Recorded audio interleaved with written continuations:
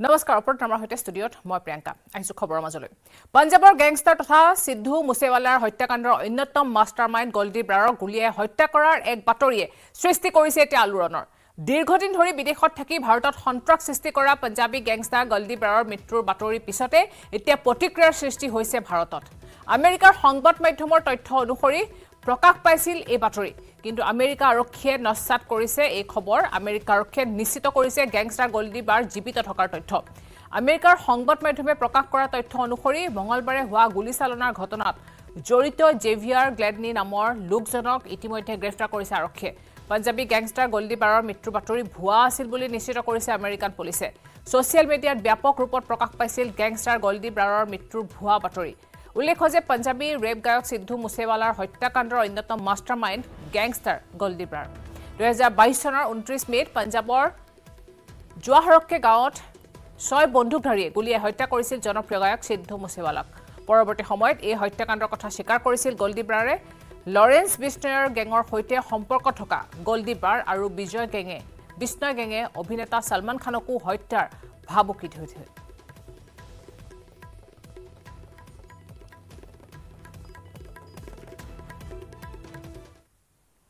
সোণাৰীত পাঁচ জোৱাৰীক আটক কৰিছে আৰক্ষীয়ে।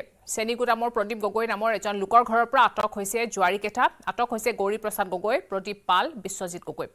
ৰাজু মালাকাৰ আকবৰ শ্বেখ প্ৰদীপ গগৈকো আটক কৰিছে। জোৱাৰীকেইটাৰ পৰা নগদ পঞ্চল্লিছ হাজাৰ সাতশ দহ টকা জব্দ কৰিবলৈ সক্ষম হৈছে। আৰক্ষীয়ে জব্দ কৰিছে সাতটাকৈ মোবাইল ফোনো।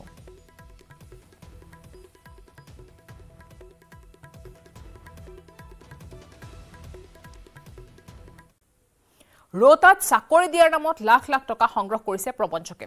ভুৱা নিযুক্তি পত্ৰৰে তিনি প্ৰবঞ্চকে সৰকালে পাঁচ লাখতকৈ অধিক টকা। মন্ত্ৰী উচ্চপদস্থ বিষয়াৰ নাম লৈ চাকৰিৰ প্ৰলোভন দি লাখ লাখ টকা সংগ্ৰহ কৰিছে আৰু এনেধৰণৰ বিস্ফোৰক অভিযোগ উত্থাপিত হৈছে। তিনি প্ৰবঞ্চকৰ বিৰুদ্ধে ৰোতা আৰক্ষী থানাত এজাহাৰ দাখিল কৰিছে ভুক্তভোগীয়ে। দলগাঁৱৰ বেছিমাৰী আহমদ আলী কিসমত আলী ওৰফে ৰহিমুদ্দিন আৰু কুৰবান আলী নামৰ তিনি প্ৰবঞ্চকে লুটিছে পাঁচ লাখ পঞ্চাছ হাজাৰ টকা। ওদালগুৰিৰ ঝাৰগাঁৱৰ ৰমেশ ডেকা নামৰ লোকজনক চাকৰি দিম বুলি সৰকালে বৃহৎ পৰিমাণৰ ধন। ৰমেশ ডেকাক কস্তুৰবা গান্ধী বালিকা বিদ্যালয়ৰ পিয়নৰ চাকৰিৰ প্ৰলোভন দি সৰকাই এই টকাখিনি। চাকৰিৰ লোভত মানুহজনে নিজৰ মাটি বিক্ৰী কৰি কেইবাটাও কিস্তিত প্ৰায় পাঁচ লাখ পঞ্চাছ হাজাৰ টকা তিনি প্ৰবঞ্চকক দিয়ে। লোকজনক আনকি এখন ভুৱা নিযুক্তি পত্ৰ প্ৰদান কৰে প্ৰবঞ্চক আহমদ আলী কিসমত আলী আৰু কুৰবান আলীয়ে। কিন্তু যোগদান কৰাত বাধা দিয়ে নিযুক্তি পত্ৰ দিও। ওলোতে সমাজ কল্যাণ বিভাগতহে চাকৰি দিয়াৰ কথা কয়। ৰতা থানাত এজাহাৰ দিছিল ভুক্তভোগী ৰমেশ ডেকাই কিন্তু আৰক্ষীয়ে গুৰুত্ব নিদিয়াৰ অভিযোগ উত্থাপন কৰিছে ৰমেশ ডেকাই। ৰোটাৰ আঘুঞ্জাৰৰ লীন দৈমাৰী নামৰ লোকজনৰ পৰাও তেত্ৰিছ হাজাৰ টকা সংগ্ৰহ কৰিছিল এই তিনি প্ৰবঞ্চকে। আহমদে মানে চাকৰি দিব বুলি এই হেণ্ডিকেপ অফিচ ডাঙৰ আহিব বোলে এই লাইলাংপৰা স্কুল ওচৰত। এইটো হেণ্ডিকেপ অফিচ আহিব বোলে চাকৰি দিব পিয়ন পোষ্ট বা কিবা কিবি যিকোনো এটা দিব আৰু।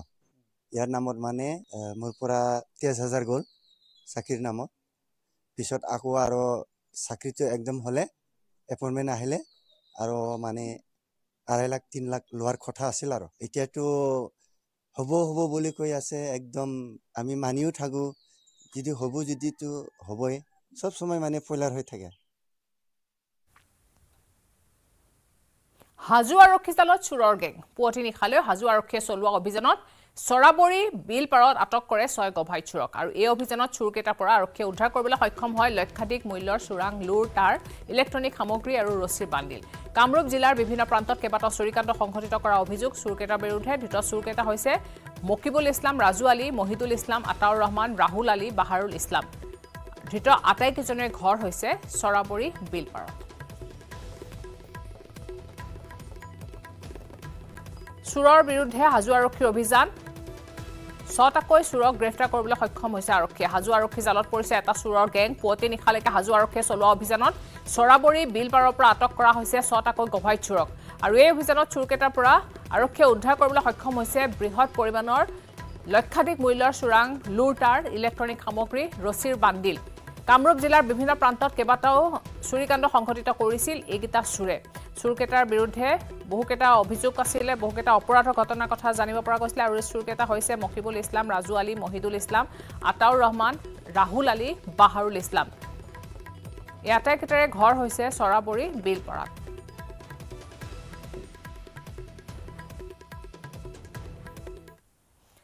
গুৱাহাটী নিচামুক্তি কেন্দ্ৰত কি চলে? পোহৰলৈ আহিছে এক চাঞ্চল্যকৰ তথ্য। মহানগৰী পিছ ৱেলনেছ ফাউণ্ডেশ্যনৰ পিছত আন এটা নিচামুক্তি কেন্দ্ৰৰ তথ্য পোহৰলৈ আহিছে। নিচামুক্তি কেন্দ্ৰত নিৰ্যাতনৰ বলি হোৱা এগৰাকী যুৱতীয়ে আনিছে অভিযোগ। পাঞ্জাবাৰী অসম ফাউণ্ডেশ্যনত এগৰাকী যুৱতীক ভয়ংকৰ নিৰ্যাতন চলোৱাৰ কথা পোহৰলৈ আহিছে। অসম ফাউণ্ডেশ্যনত চিকিৎসাধীন এগৰাকী যুৱতীক হাত ভৰি জ্বলাই দিয়াৰ অভিযোগ।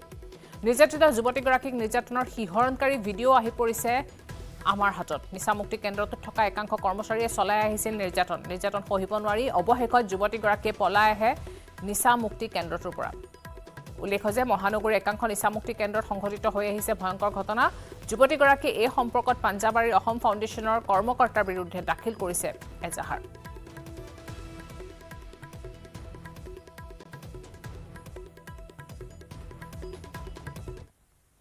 এম ডি এছ আৰু এভাৰেষ্ট মছলাত বিষাক্ত কীটনাশক দ্ৰব্যৰ উপস্থিতিক লৈ দেশজুৰি এতিয়া প্ৰতিক্ৰিয়াৰ সৃষ্টি হৈছে। বিষাক্ত কীটনাশক দ্ৰব্যৰ উপস্থিতিক লৈ দুখন দেশত নিষিদ্ধ কৰা হৈছে এম ডি এছ আৰু এভাৰেষ্টৰ দ্বাৰা উৎপাদিত মছলা। বিদেশত নিষিদ্ধ ঘোষণাৰ পিছত ভাৰততো আৰম্ভ হৈছে তৎপৰতা। ভাৰতৰ প্ৰতিখন ৰাজ্যলৈ কেন্দ্ৰীয় চৰকাৰে জাননী জাৰি কৰিছে। ইতিমধ্যে এম ডি এছ আৰু এভাৰেষ্টৰ প্ৰতিবিধ মছলাৰ নমুনা সংগ্ৰহ কৰি পৰীক্ষণ কৰা হ'ব। অসমতো দুশ পঞ্চাছটা স্থানত আৰম্ভ হৈছে নমুনা সংগ্ৰহ আৰু পৰীক্ষণ পৰ্ব। পাঁচ দিনৰ ভিতৰত নমুনা সংগ্ৰহ কৰিব আৰু প্ৰতিবেদন দাখিল কৰিব কেন্দ্ৰীয় চৰকাৰক। ইতিমধ্যে মাৰাত্মক দ্ৰব্যৰ উপস্থিতি ধৰা পৰিছিল এম ডি এছ আৰু এভাৰেষ্টৰ সামগ্ৰীত। এম ডি এইচ আৰু এভাৰেষ্ট দুটা ব্ৰেণ্ডত কীটনাশক দ্ৰব্য বিশেষকৈ ইথিলিন অক্সাইডৰ বুলি নামৰ এটা কীটনাশক দ্ৰব্যৰ উপস্থিতি পোৱা হৈছে বুলি নিউজত অলৰেডি হেৰি হৈছে।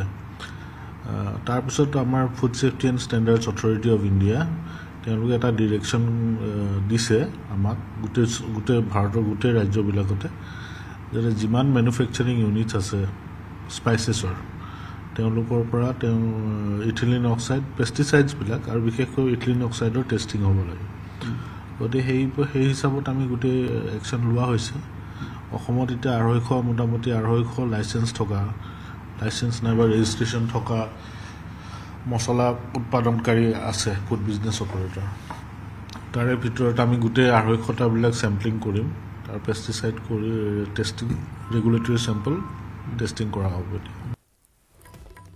আৰু আমি ফোনযোগে সংযুক্ত হৈছোঁ। এই বিষয়ে সবিশেষ জানিবলৈ আমাৰ জ্যেষ্ঠ সাংবাদিক বলেন ভট্টাচাৰ্যৰ সৈতে। বলেন আপোনাৰ পৰা জানিব বিচাৰিছোঁ। ইতিমধ্যে এম ডি এছ আৰু এভাৰেষ্টৰ প্ৰতিবিধ মছলাৰ নমুনা সংগ্ৰহ কৰি পৰীক্ষণ কৰা হ'ব আৰু অসমতো দুশ পঞ্চাছটা স্থানত ইতিমধ্যে নমুনা সংগ্ৰহ আৰু পৰীক্ষণৰ পৰ্ব আৰম্ভ কৰা হৈছে। আৰু পাঁচদিন সংগ্ৰহৰ বাবে সময়সীমাও দিয়া হৈছে। ইতিমধ্যে এই সন্দৰ্ভত নমুনা কৰা হৈছে নেকি বা কিবা প্ৰতিবেদন প্ৰকাশ কৰিছে নেকি?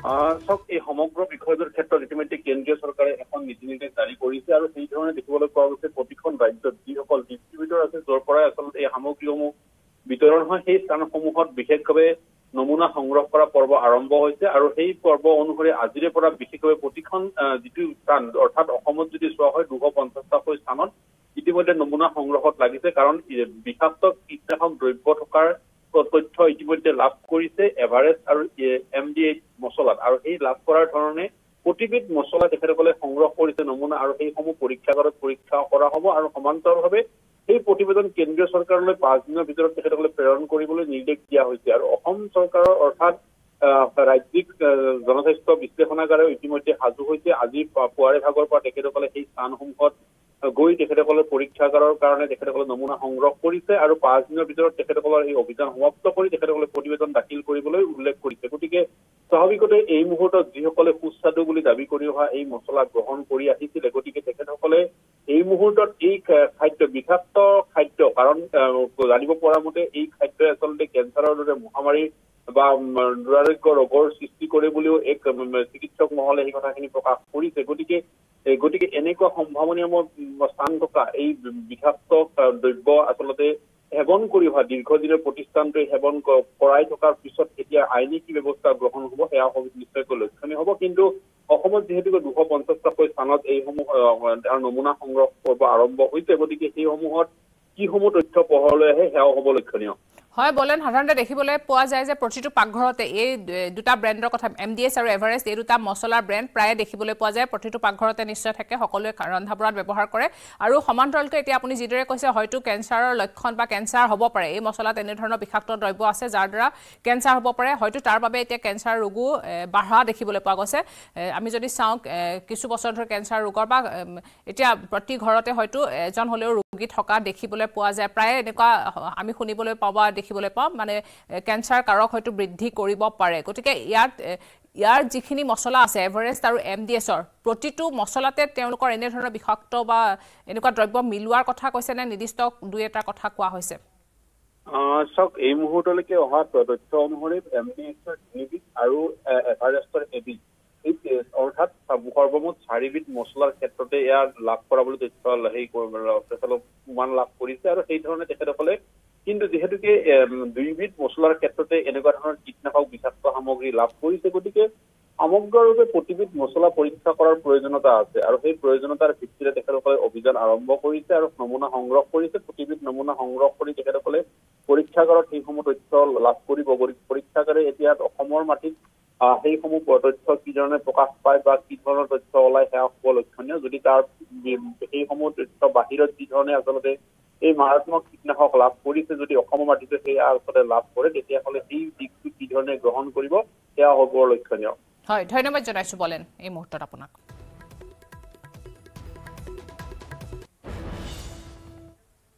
হাইলাকান্দিত গ্ৰেপ্তাৰ হৈছে দুই বাংলাদেশী। হাইলাকান্দিত গ্ৰেপ্তাৰ বাংলাদেশী মাতৃপুত্ৰ বিলাইপুৰ আৰক্ষীয়ে গ্ৰেপ্তাৰ কৰিছে দুই বাংলাদেশীক। ধৃত ৰুবেল আহমেদ শ্বেখ আৰু আমিৰুল বেগম নামৰ দুয়োগৰাকীক গ্ৰেপ্তাৰ কৰিছে আৰক্ষীয়ে। দুহেজাৰ ঊনৈছ চনতে ভাৰতত প্ৰৱেশ কৰিছিল দুয়ো হাইলাকান্দিৰ বিলাইপুৰৰ এখন গাঁৱত বাস কৰিছিল দুয়ো।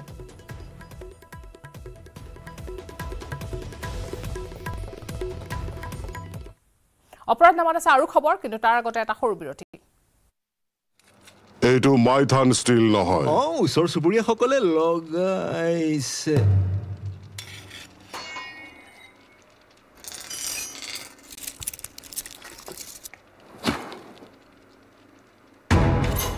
ষ্ট্ৰং মানে মাইথান ষ্টীল কাৰেক্ট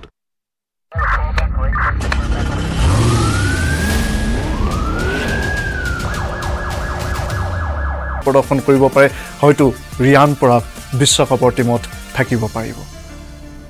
এই মুহূৰ্তৰ এইখিনি আছিলে।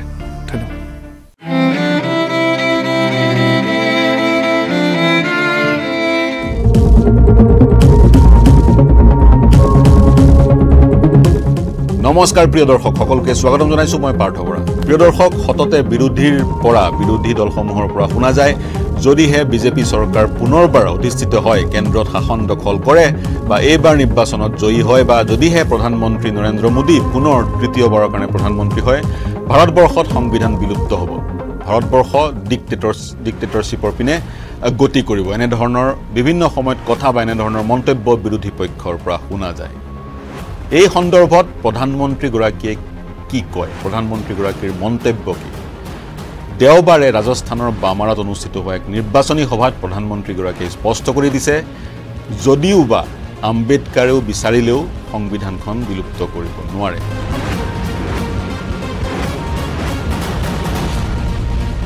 সংবিধানৰ ৰচয়িতা ড্ৰাফটিং কমিটিৰ চেয়াৰমেন বি আৰ আম্বেদকাৰে বিচাৰিলেও সংবিধানখন সলনি কৰিব নোৱাৰে। এনেধৰণৰ অতি গুৰুত্বপূৰ্ণ আৰু অতি শক্তিশালী মন্তব্য প্ৰধানমন্ত্ৰী নৰেন্দ্ৰ মোদীৰ। আৰু এখন নিৰ্বাচনী সভাত হাজাৰ হাজাৰ জনসমাগমৰ সন্মুখত তেওঁ এই কথা স্পষ্ট কৰি দিছে। সংবিধানৰ কোনো পৰিৱৰ্তন নহয় সংবিধান বিলুপ্ত নহয় এই কথা স্পষ্ট কৰি দিছে দেশৰ প্ৰধানমন্ত্ৰীগৰাকীয়ে আৰু অতি তাৎপৰ্যপূৰ্ণভাৱে আম্বেদকাৰৰ প্ৰসংগটো তেওঁ উল্লেখ কৰিছে আৰু লগতে কৈছে ভাৰতীয় জনতা পাৰ্টীয়ে সংবিধানক সন্মান কৰে। সংবিধানক মানি চলে সন্মান সন্মান কৰে। বিশ্লেষণ আগবঢ়াব বিচাৰিছোঁ সংবিধান কিয় বিলুপ্ত কৰিব পৰা নাযাব বা সংবিধানত ভাৰতবৰ্ষৰ যি এক বেছিক ষ্ট্ৰাকচাৰৰ কথা কোৱা হৈছে ভাৰতবৰ্ষৰ যি এক বৈশিষ্ট্য বা চৰিত্ৰৰ কথা কোৱা হৈছে সেই চৰিত্ৰক বিজেপিয়ে হওক বা কংগ্ৰেছেই হওক চেষ্টা কৰিলেও সেই চৰিত্ৰৰ পৰিৱৰ্তন ঘটাব নোৱাৰে সেই বিশ্লেষণ আগবঢ়াব বিচাৰিছোঁ। আৰু এই কথাৰে যেন প্ৰতিফলন ঘটিছে প্ৰধানমন্ত্ৰী নৰেন্দ্ৰ মোদীৰ সেই গুৰুত্বপূৰ্ণ মন্তব্যৰ বামাৰৰ ৰাজস্থানৰ বামাৰৰ জনসভাৰ সেই মন্তব্যৰ। প্ৰিয় দৰ্শক বিষয়টো জটিল। এই বিষয়টো বিশ্লেষণ কৰিবলৈ সংবিধানৰ কিছুমান অনুচ্ছেদৰ আমি বৰ্ণনা আগবঢ়াব লাগিব আৰু সেই অনুচ্ছেদসমূহৰ বিষয়ে দেশৰ উচ্চতম ন্যায়ালয়ে সময়ে সময়ে কি জাজমেণ্ট দি আহিছে সেই সন্দৰ্ভত কিছু বিশ্লেষণ আগবঢ়াব লাগিব।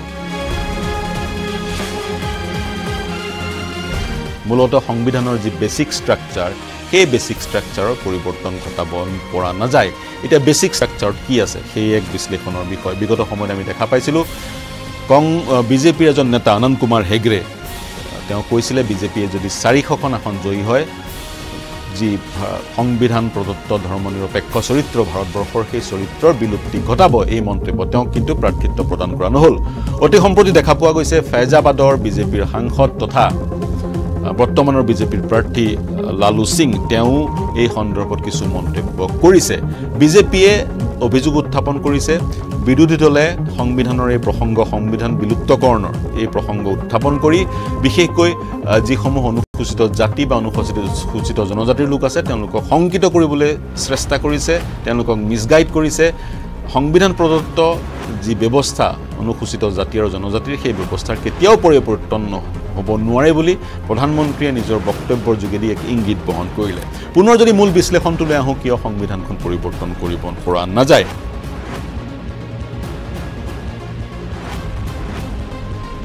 সংবিধান পৰিৱৰ্তন কৰিব পৰা নাযায় কাৰণ মই বেচিক ষ্ট্ৰাকচাৰৰ কথা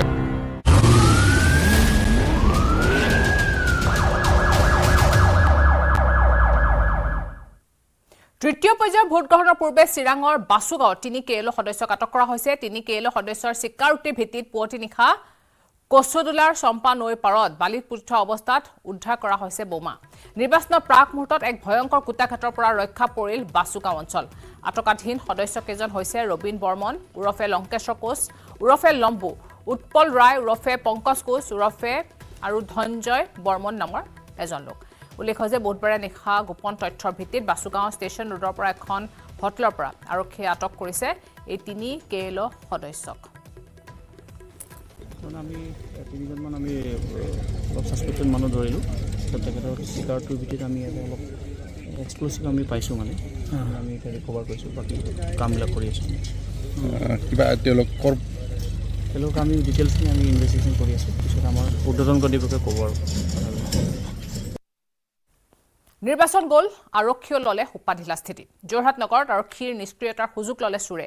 যোৰহাট নগৰৰ মাজমজিয়াত দিছয় নগৰৰ সুবৰ্ণলতা দত্ত নামৰ মহিলাগৰাকীৰ বাসগৃহত সংঘটিত হ'ল চুৰিকাণ্ড চিকিৎসাজনিত কাৰণত বুধবাৰে গুৱাহাটীলৈ গৈছিল মহিলাগৰাকী আৰু তাৰেই সুযোগ লৈ চোৰে বাসগৃহত চলাই লুটপাট। যোৰহাট নগৰত বিগত কেইবাদিনো ধৰি ধাৰাবাহিকভাৱে চুৰি হৈ আছে। এয়াৰ কণ্ডিশ্যনাৰ সমূহত লগোৱা তামৰ কেবুলসমূহ চুৰ কৰিছে। তথ্য অনুসৰি কেৱল মাৰ্চ এপ্ৰিল মাহতে যোৰহাটত চুৰি হৈছে প্ৰায় পোন্ধৰখন দুচকীয়া বাহনো। এদিনতে তিনিখন পৰ্যন্ত বাইক চুৰি হৈছে যোৰহাট নগৰত। আৰু তাৰ পিছতো কিন্তু যোৰহাট আৰক্ষীয়ে নাকত তেল দি শুই থকাৰ অভিযোগ কৰিছে স্থানীয় লোকে। যোৰহাট আৰক্ষীৰ নামতহে আছে যাৰ বাবে যোৰহাটত এতিয়া চোৰে চলায় একপক্ষীয় ৰাজত্ব। মই লাইটটো আহি দিব এম চি বিটো কাটিবলৈ আহোঁতে গ্ৰিলৰ তলাটো ভঙা দেখি পেলাই লগালগ ওচৰ চুবুৰীয়াক মাতি আনি এইটো বিষয়লৈ মই জনাইছোঁ তেখেতসকলক আহ, গৃহস্থকটো ফোনেৰে জনাইছোঁৱেই উইথ মানে ওচৰ চুবুৰীয়াকো মাতি আনি পেলাই তেখেত যে দেখুৱাইছোঁ যে এইটো কি হ'ল চাওকচোন এনেকুৱা হৈ আছে। গৃহ- গৃহস্থৰ নাম এনেই তেওঁ যিজন মেইন এতিয়া খুৰীদৈ আছে সুবৰ্ণলতা দত্ত। তেওঁ এতিয়া গুৱাহাটীত আছে তেওঁলোক। আৰু ট্ৰিটমেণ্টৰ কাৰণে গৈছিলে। আৰু কালি ৰাতিপুৱা ডাঙৰ পুতেক যিহেতুকে গুৱাহাটীত থাকে সেই সৰু পুতেক এতিয়া কালি গৈছিলে বোৱাৰীয়েকে সৈতে। আছাম ৰাইফলছৰ অভিযানত মিজোৰামত জব্দ হৈছে বৃহৎ পৰিমাণৰ মাৰিজুৱানা। আইজল আৰক্ষী শুল্ক বিভাগ আৰু আছাম ৰাইফলছে চলোৱা যুটীয়া অভিযানত জব্দ কৰিছে আঠ কেজি দুশ ছয়ষষ্ঠি গ্ৰাম নিষিদ্ধ মাৰিজুৱানা। আইজলৰ জাংগুইটোৰ পৰা উদ্ধাৰ কৰা হৈছে এইখিনি মাৰিজুৱানা। এশ আঠচল্লিছটা বেগত লুকুৱাই অনা হৈছিল এইখিনি। লগতে এশ তেৰ গ্ৰাম হেৰইনো জব্দ কৰিবলৈ সক্ষম হৈছে অভিযানকাৰী দলে। মিজোৰামৰ চাম্পাই জিলাৰ পৰা উদ্ধাৰ কৰা হৈছে এই হেৰইনখিনি। উদ্ধাৰ হোৱা নিচাযুক্ত সামগ্ৰীখিনিৰ বজাৰ মূল্য প্ৰায় এক কোটি সত্তৰ লাখ টকা হ'ব বুলি প্ৰকাশ কৰিছে আৰক্ষী সূত্ৰই। মাদক দ্ৰব্য সৰবৰাহত জড়িত দুজনক গ্ৰেপ্তাৰ কৰিছে অভিযানকাৰী দলে। দুখন বাইকো জব্দ কৰিছে লোক দুজনৰ পৰা। অভিযানকাৰী দলে দুটা ভাগত বিভক্ত হৈ পৃথকে পৃথকে চলাইছিল এই অভিযান।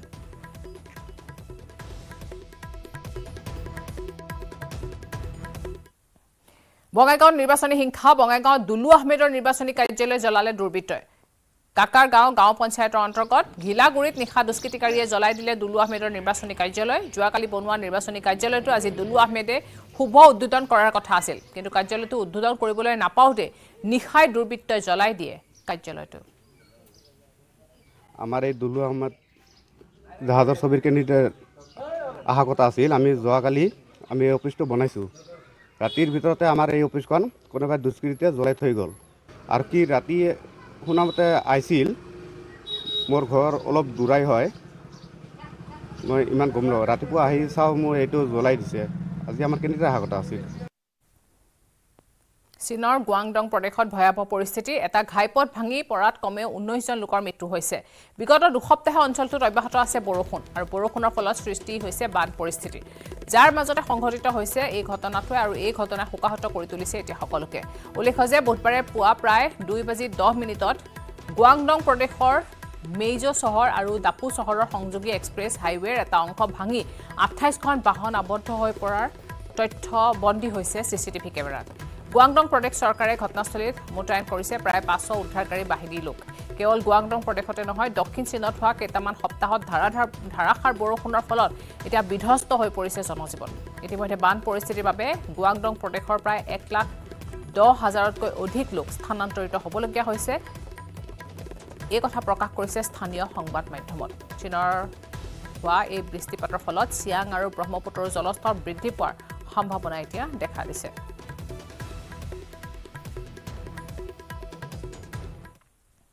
ছলমান খানক গুলীচালনাৰ ঘটনাৰে জড়িত অভিযুক্তৰ আত্মহনন। আৰক্ষী জিমাতে আত্মহত্যা কৰিছে অভিযুক্ত অনুজ স্থাপনৰ ডিঙিত চিপ লৈ আত্মহত্যা কৰিছে অভিযুক্তজনে।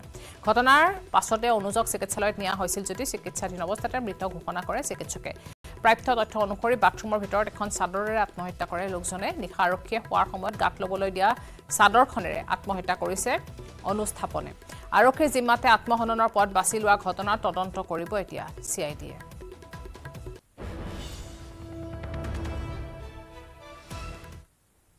ক্ৰমাৎ অপৰাধ নগৰীলৈ পৰিণত হৈছে স্মাৰ্ট চিটি গুৱাহাটী। মহানগৰীত নিৰ্বিঘ্নে ঘূৰিছে অস্ত্ৰধাৰী দুৰ্বৃত্ত। ভি আই পিৰ চচলত প্ৰাপ্ত ভৱনলৈ যোৱা মহিলাক পিষ্টল দেখুৱাই সোণৰ চেইন কাঢ়ি নিলে দুৰ্বৃত্তই। গুৱাহাটীত নিৰ্বিঘ্নে ঘূৰিছে অস্ত্ৰধাৰী দুৰ্বৃত্ত। মহানগৰীত চিলনী চোৰৰ হাতত উদ্যত মাৰণাস্ত্ৰ। পিষ্টল দেখুৱাই চাঞ্চলকৰ ডকাইতি এইখন ৰাজধানী চহৰ গুৱাহাটী মহানগৰীত এতিয়া চৰম নিৰাপত্তাহীনতাত ভুগিছে মহানগৰবাসী সাধাৰণ জনতাৰ জীৱন সম্পত্তিৰ নিৰাপত্তা দিয়াত এতিয়া চূড়ান্তভাৱে ব্যৰ্থ গুৱাহাটী আৰক্ষী নিৰ্বাচনৰ বতৰত অস্ত্ৰধাৰী দুৰ্বৃত্তৰ সন্ত্ৰাস হাতত পিষ্টল লৈ গুৱাহাটীত পিটপিটাই ফুৰিছে দুৰ্বৃত্তৰ দল। হয় এতিয়া নিৰ্বাচনৰ বতৰ। শাসক বিৰোধীৰ চলিছে জোৰদাৰ প্ৰচাৰ অভিযান। তাৰ মাজতে গুৱাহাটীৰ ছয় মাইলত অঘটন। প্ৰাতঃ ভ্ৰমণলৈ যোৱা মহিলাক টাৰ্গেট অস্ত্ৰধাৰী দুৰ্বৃত্তৰ। ভি আই পিৰ চচলত পিষ্টল দেখুৱাই কাঢ়ি নিলে সোণৰ চেইন। বুধবাৰে এইটো অভিজিত পথতে ঘটি গ'ল ঘটনাটো। হাতত পিষ্টল লৈ বাইকত অহা অপৰাধীয়ে থপিয়াই নিলে সোণৰ অলংকাৰ। চাঞ্চলকৰ ঘটনাক লৈ পুৱাই হাহাকাৰ লাগিল অঞ্চলটোত।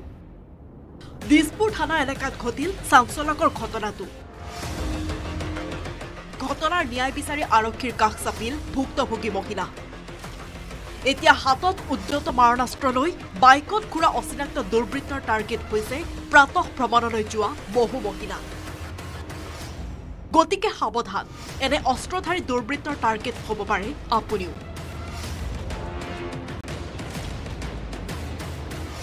Bureau' report news eighteen Assam north east.